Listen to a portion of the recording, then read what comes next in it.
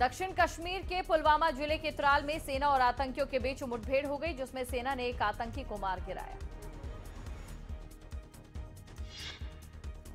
राष्ट्रपति से दया याचिका खारिज होने के बाद निर्भया का एक दोषी मुकेश फिर सुप्रीम कोर्ट पहुँचा और राष्ट्रपति के फैसले को चुनौती दी।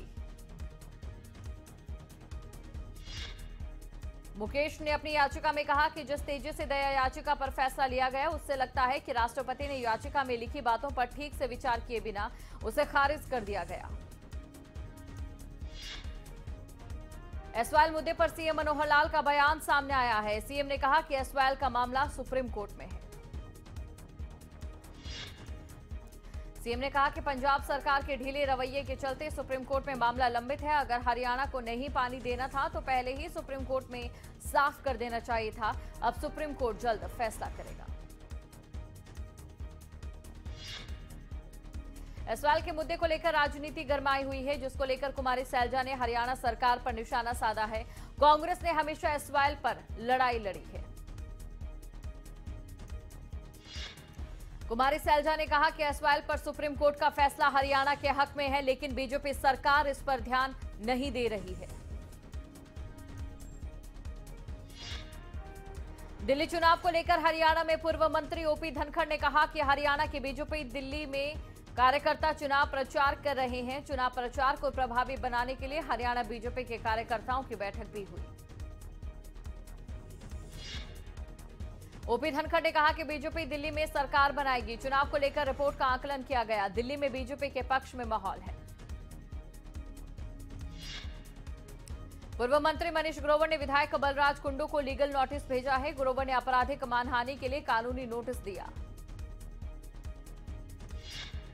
लीगल नोटिस में मनीष ग्रोवर ने बलराज कुंडू को माफ़ी मांगने के लिए कहा है। माफ़ी मांगने के लिए पंद्रह दिन का समय दिया गया। माफ़ी न मांगने पर अब कानूनी कार्रवाई की जाएगी।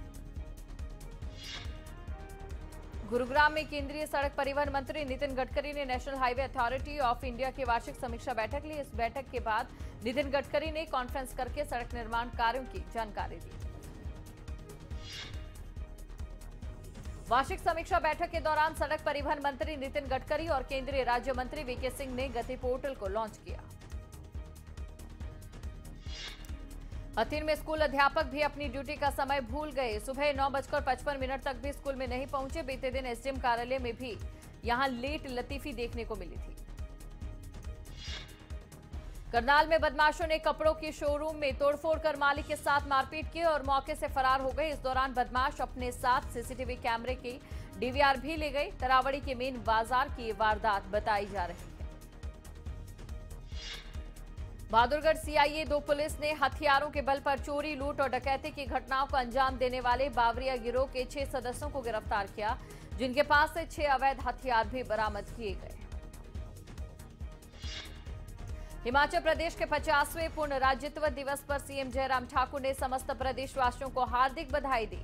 सीएम ने कहा कि 50 साल का हिमाचल प्रदेश का ये सफ़र आज इस मुकाम पर पहुँचा है। सीएम ने कहा कि हम छोटे प्रदेश होने के बावजूद बड़े प्रदेशों की तुलना में पीछे नहीं, कहीं हम बराबरी में हैं, कहीं उनसे भी आगे बढ़कर काम कर रहे हैं। हिमाचल बीजेपी प्रदेश अध्यक्ष बनने के बाद पहली बार राजीव बिंदल हमीरपुर पहुँचे, जहाँ प्रदेश अध्यक्ष का कार्यकर्ताओं ने गर्म जोशी के साथ स्वागत किया। राष्ट्रीय बालिका दिवस के मौके पर शुक्रवार को धर्मशाला के कार्यक्रम हुआ और इस दौरान शहरी विकास मंत्री सरवीन चौधरी ने कहा कि वर्तमान में बेटियाँ हर क्षेत्र में बेटों के साथ कंधे से कंधा मिलाकर काम कर रही है। लाहौल स्पीति के केलांग के जनजातीय संग्रहालय सभागार में बालिका दिवस पर कार्यक्रम का आयोजन किया गया। परियोजना अधिकारी एकीकृत जनजातीय विकास परियोजना स्मृतिका नेगी ने बतौर मुख्य अतिथि शिरकत की। उपायुक्त हरिकेश मीणा ने एसडीएम हमीरपुर और लोक निर्माण विभाग के अधिकारियों के साथ गसोता महादेव मंदिर का निरीक्षण कर सुविधाओं का जायजा लिया और कहा कि गसोता महादेव मंदिर पर्यटन के लिए विकसित होगा।